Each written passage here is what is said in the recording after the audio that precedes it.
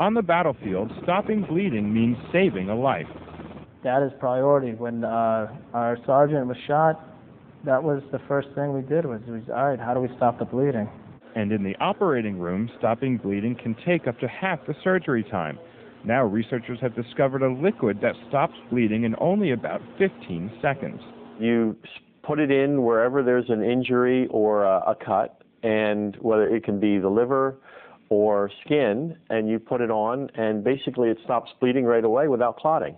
MIT researchers Rutledge Ellis Behnke and Gerald Schneider worked with researchers at Hong Kong University and published their findings in the journal Nanomedicine. This experimental surgery video shows the liquid being applied to a severed mouse liver.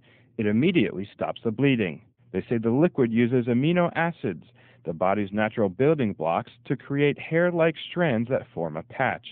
So the analogy would be is if you have hair and it clogs the drain, uh, you actually stop the movement of fluid. Schneider says the potential benefits are obvious. I think it will be very important in emergency medical situations because of the speed of its action and because it can create a barrier to the outside world. Both researchers say they need to test the liquid in additional situations before it can be tested on people. I'm Brad Closa.